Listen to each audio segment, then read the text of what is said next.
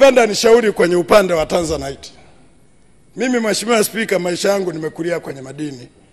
Ni vizuri wakatusikiliza watu tunaotoka kwenye madini. Huwezi ukasema Tanzanite inatoroshwa, na sisi kama kamati tumeenda kwenye Tanzanite pale Mererani. Kwa kweli serikali imefanya kazi kubwa sana, na askari wetu wako pale wanalinda vizuri makamera. Tumeingizwa chumba cha kamera, unaona mita hamsini nje, mita hamsini ndani. Ni ulinzi ambao najiuliza, sisi watu wa dhahabu tungepewa huo ulinzi, pengine serikali ingekusanya mara tatu. Sasa Mheshimiwa Spika, nataka nishauri, mnaibiwaje serikali?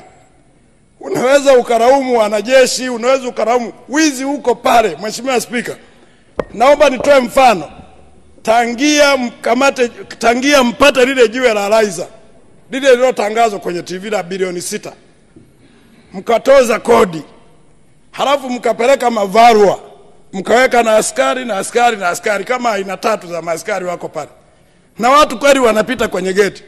Niwaulize swali, ni lini toka mmepata jua la raiza ni lini mmepata Tanzanite ambayo imezidi milioni 30 40? Ni kwa sababu nyie mkipewa mawazo kabla hamjayafanyia kazi mnapeleka utaalamu. Sasa watu wanawapigia chenga pale pale na tochi yenu mnamulika pale.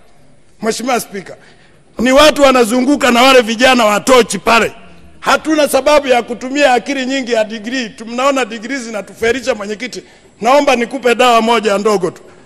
Kesho serikali iwe na hela pale, waweke vijana we, we, wa darasa la saba tu wanaojua mawe. Tunahitaji tochi, wala sio bainokora hiyo mnayotumia pale, mwaweke pembeni pale.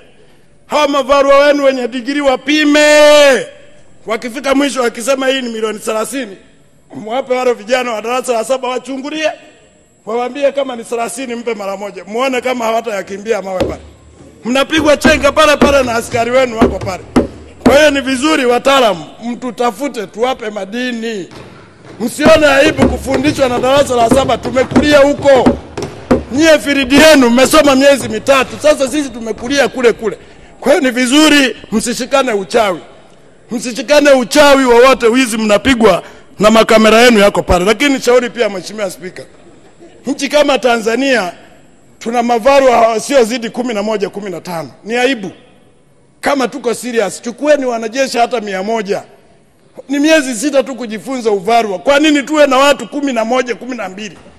Wale wale wanazungumzika, ukizungumza na huyo akimaliza dili, biashara imeisha. Nikuombe sana Mheshimiwa Spika, ushauri wangu hawa wataalamu waweze kufanyia kazi, lakini nataka nizungumze.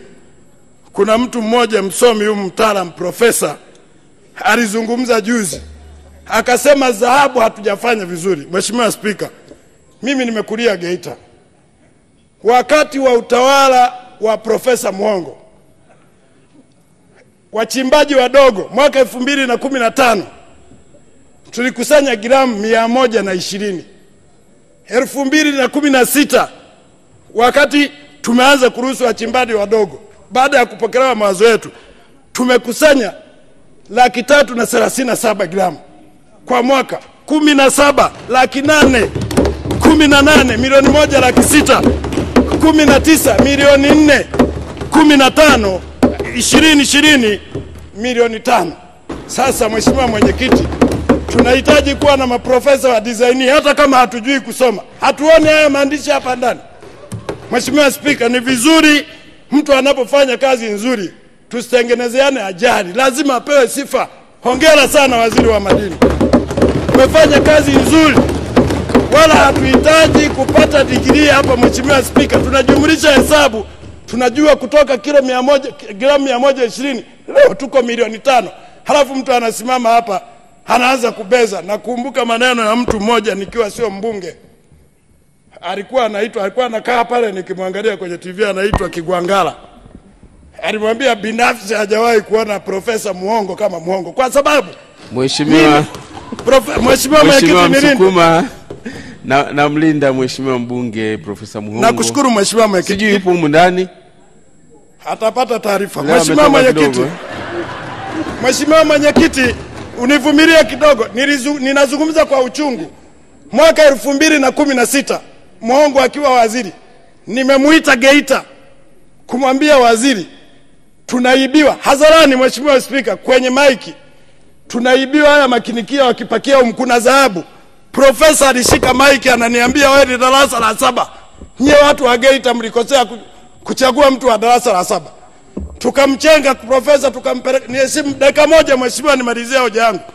Tukampelekea marehemu Mheshimiwa Magufuli kamfuko tu kadogo, kamwambia mheshimiwa, hatuhitaji profesa, hatuhitaji, naomba utusimamie tuoshe haka kamfuko tu kadogo, tutaoshea na Coca-Cola. Mheshimiwa Spika, dakika kumi na tano tulikuwa na dhahabu ya milioni kumi na sita. Mheshimiwa Magufuli akawakia na kwenye gia. Sasa maprofesa wa design, Mheshimiwa Spika, watatuchelewesha. Ni vizuri mtuamini na sisi ROI tunaumia, tunatumia nguvu kuwapa matiri, wapo wanakuja wanapotosha. Nakushukuru sana Mheshimiwa Spika, asante sana. Asante sana Mheshimiwa Joseph Kashiku Msukuma. Asante sana. Kwa hakika LOI ni jeshi kubwa.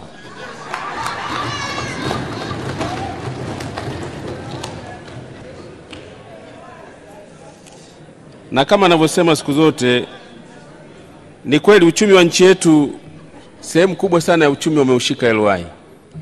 Kwa hiyo lazima tuwa appreciate kweli kabisa eh, mpaka hapo tutakapoona hizi digrii zetu nazo, nazo zina utajiri wa nchi hii ndio tutakapoamini tofauti. Asante sana Mheshimiwa Msukuma.